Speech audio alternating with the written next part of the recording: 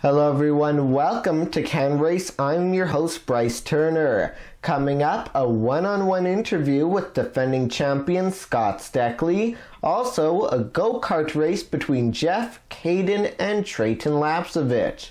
That and more coming up as we get set for the season opener for the NASCAR Pinty's Series at Canadian Tire Motorsport Park.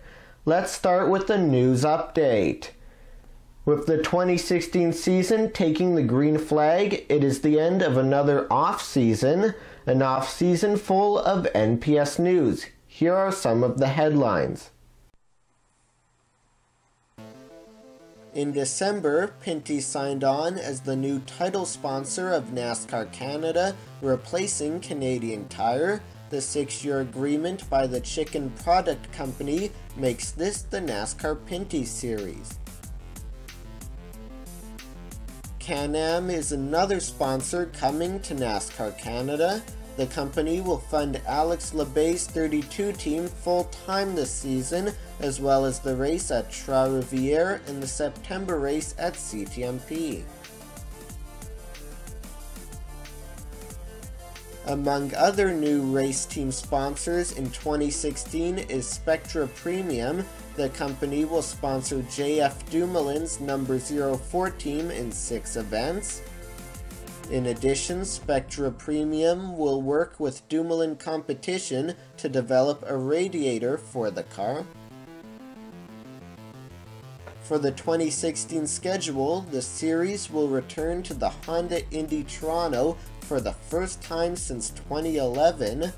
Another major change is the Saint Eustache race moving from late July to September, where it will act as the penultimate race in the season, and note that Auto Clearing Motor Speedway in Saskatchewan has been renamed Wyant Group Raceway. One of the teams not so lucky for sponsorship is 22 Racing, with no sponsor following Canadian Tire's departure. Defending Pinty's Series champ Scott Steckly does not have any current plans to race this season. The team will still field three cars this weekend, with Kaz Grala in the number 22, Brett Taylor in the number 46, and Pierre-Luc Ouellette filling in for Alex Tagliani in the number 18. More from Scott Steckly in a one-on-one interview coming up next. Coming off of a 2015 season that saw three wins, seven top fives, and the series championship, and on the eve of a 2016 season with no plans to race himself, but rather plans for his 22 racing team, we stopped by the shop in Milverton, Ontario for a sit down interview with Scott Steckly. When did it hit you that you won the championship? Uh, pretty much when we went across the start finish line. You know, as soon as you got that white flag, you know that uh, the race is over, and we were running second. So, uh, pretty much the minute we crossed the the uh, start finish line for the checkered flag, I knew that we definitely had won the championship, and it just uh, it was an amazing, amazing feeling. How special was it to join a select group of NASCAR drivers with your fourth series title? Uh, it, it's it's very rewarding. You know, it just um, it makes you feel that you've accomplished something that um, that only 33 other drivers have has ever done. So you just got to thank all the people that have helped make that happen because there's no way I did any of it on my own. I've had a great group of crew members for 24 years that have always been behind me. Um, I've had a great group of sponsors for 24 years. So there's so many more people uh, involved that make it all happen. So you just got to thank all them people and be very grateful for their support. Switching gears to 2016, why did you decide to sit out the first race? Um, basically, it's a financial decision. Um, in about in 2009, I turned this into more of a business as 22 Racing than just me personally racing, where we started renting out cars to other teams and providing crew members cars, trucking, the whole. We provide uh, everything a driver needs. They can show up and race. So, in 2009, we started that, and and um, it's grown, and and we've had some very good luck with it. Mark Dilley has was our first driver that drove one of our cars, and he won in one of our cars. LP Dumoulin won two races in our cars. Um, now Alex Tagliani has so. It's very important for this business to grow and to be able uh, run on its own without me racing. I feel, and for me to go and race without the proper funding would just be taking away from from the other teams that that are paying for the proper funding. So um, it was basically a business decision that I, I needed to make to, to make 22 Racing uh, strong. How difficult of a decision was it? Uh, it's definitely difficult, but there comes a point where where I'm not going to be able to drive. I'm not saying I was ready for this yet, and I'm not saying I'm not going to drive if something wouldn't come along. But but uh, if I want this to run as a business and, and to be successful, it, it, was, I believe, the smartest thing to do right at this present time. So, at what point do you start to think retirement, or are you still thinking drive for five?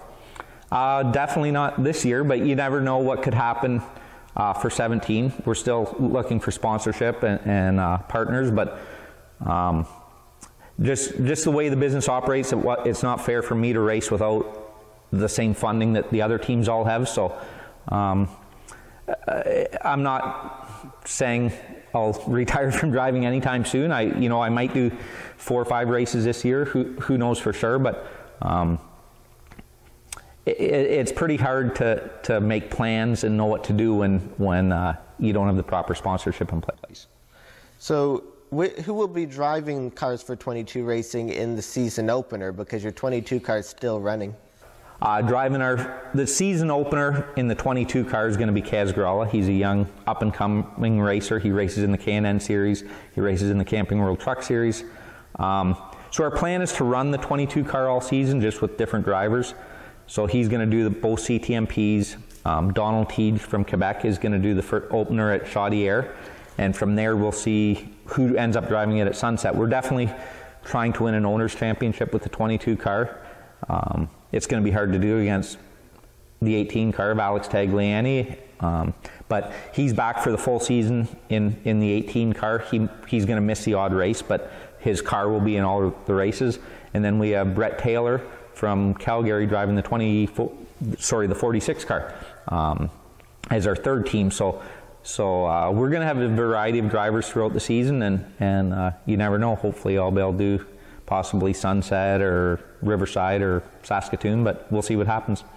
You've got to go into the Western Swing races with your success there. Yeah, we'll see what happens. It, it's basically, like I said earlier, earlier, all uh, financial decision just to, to make the business profitable and, and to build run on its own. And you know, I've I've raced for 24 years, so if this is a time when it has to end, uh, you know, I'm satisfied with what I've accomplished. I feel I have nothing to prove winning four championships. And as a driver, you know, I know it's with great teams and, and crew guys and sponsors, but um, I'm pretty satisfied with what I've accomplished.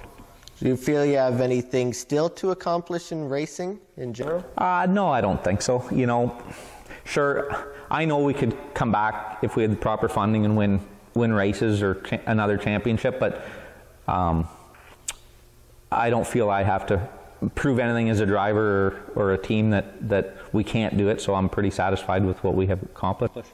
Defending NASCAR Pinty's Series champion and 22 racing owner Scott Steckly, thanks for joining me. Thank you very much.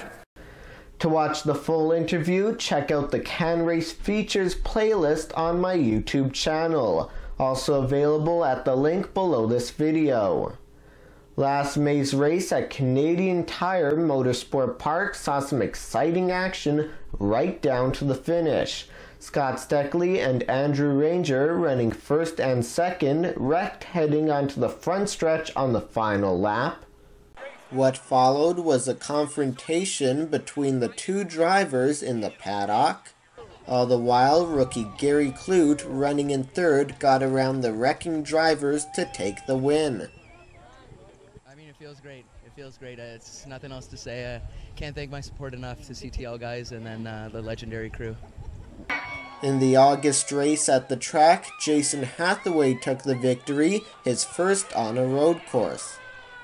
Uh, pretty special for me being an oval racer. It's uh, pretty cool. Um, you never know what can happen to these things. So we uh, put ourselves in a good position to win, and we uh, made it happen. So. Now, this weekend, the series returns to CTMP for the Clarington 200. The race will take place Sunday at about 1 p.m. Eastern. Qualifying is set for tomorrow at 3:45. TSN 5 will air the race on Sunday, May 29th at noon Eastern Time. And of course, check back throughout the weekend for coverage on Can Race. Also, tune into CJRU 1280 AM Toronto on Tuesday for Motorsports Monday on a special day and time. Motorsports Monday delves into a different topic, being a series or type of racing each week, and also provides results. This week's edition will focus on the NASCAR Pinty's Series. The segment will air during morning mixtape airing from 8 to 10 a.m. Eastern on CJRU 1280 AM and online at cjru.ca. Following two podium finishes in three starts last season, driver Jeff Lapcevich is now retired from NASCAR Pinty's Series action. His son Cayden will race in the series this season after recording a podium finish in one of his six starts in 2015. Both Cayden and his brother Treyten also won championships at Sunset Speedway. And earlier this month, the trio went head to head in a go kart race at Mosport Kartways. Here's today's second feature the Can Race Cup. Just outside Canadian Tire Motorsport Park is Mosport Kartways, where we're here for a go kart race between Jeff, Cayden, and Treyten Lapcevich. Warm up now for the first lap of a 12 lap race, the first ever Can Race Cup. This race will feature Jeff, Cayden, and Treyten Lapcevich. Green flag in the air. You can identify the driver as Jeff is wearing a black helmet, Cayden is wearing a red helmet, and Treyten is wearing a blue helmet.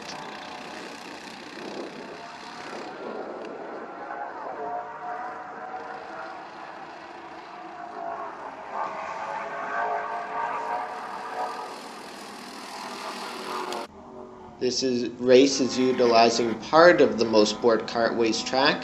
Mosport Kartways is located right beside the big road course of Canadian Tire Motorsport Park.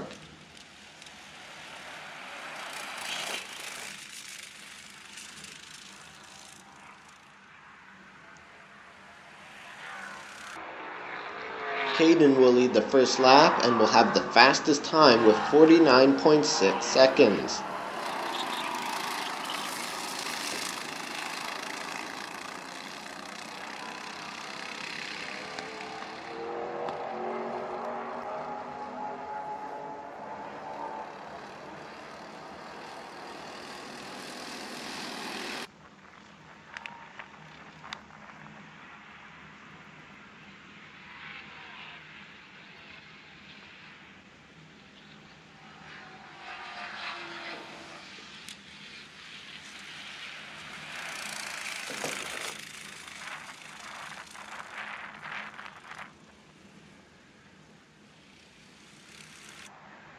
Cayden will lead that lap, but quickest is Jeff with 48.3. A close battle now ensuing for the lead, and oh, they wreck. Cayden and Treyten. Instant replay, let's take a look. Beginning the third lap, heading into the first turn. Making some contact going around the corner, not working so well. Close battle for the lead, while Jeff appears to be in the top spot on lap 6. Coming across the line, it is Jeff leading lap number 6 and with a fast time of 49.1.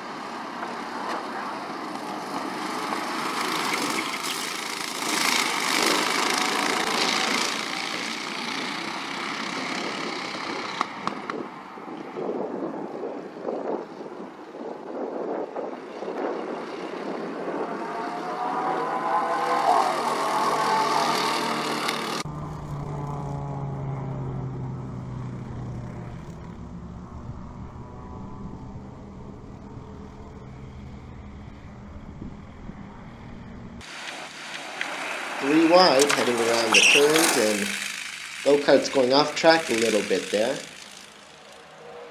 Heading along the front stretch now, and it is Jeff leading that lap. Meanwhile, Treyten is quickest at 49.9 on lap 7.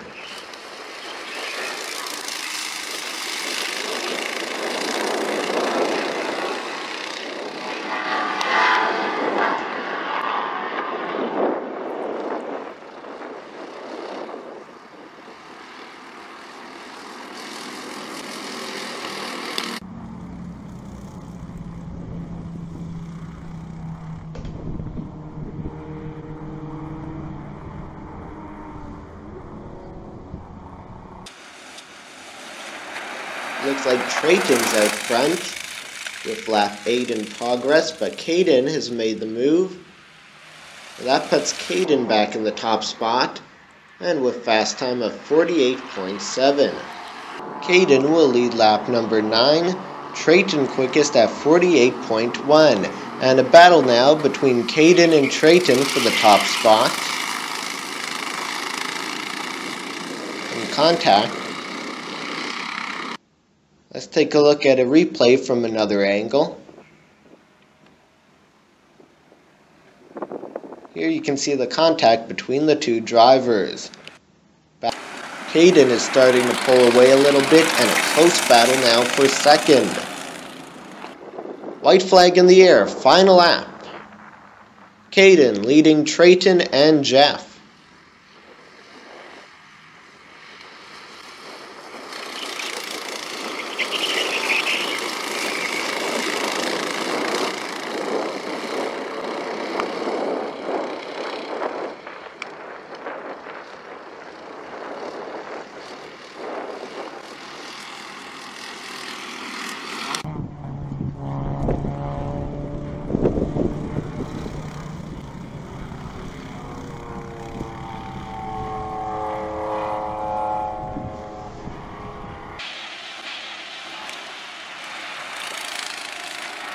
Heading through the final turns now on the final lap. To take the checkered flag, Cayden Lapcevich wins the Can Race Cup. Treyten will finish second, Jeff will finish third. I'm here now in victory lane of the first ever Can Race Cup, won by Cayden Lapcevich. How does it feel to beat your younger brother and your father?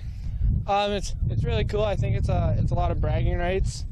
So um, you know, it's something I can hold against them until we do this again, maybe.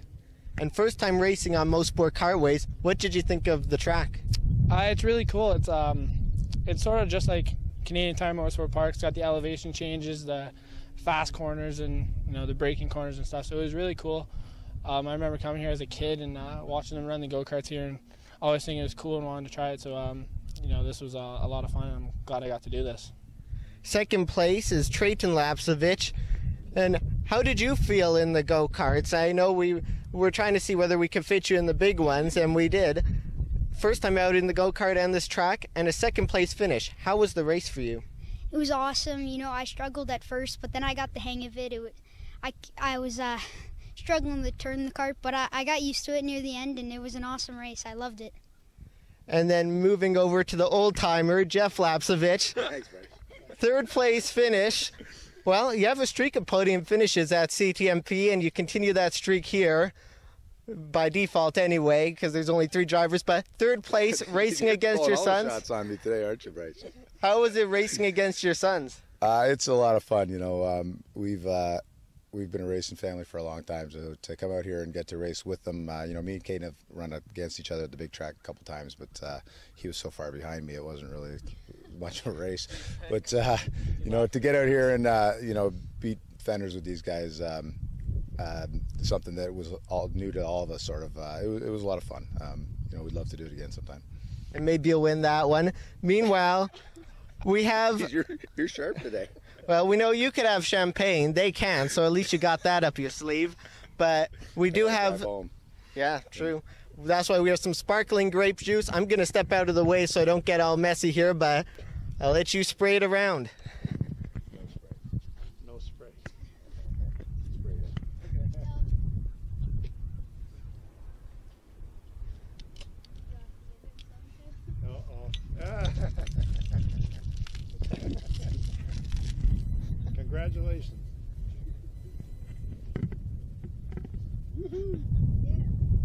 To watch the full race as well as a sit down interview with the Lapceviches, check out the Can Race Features playlist on my YouTube channel, also available at the links below this video.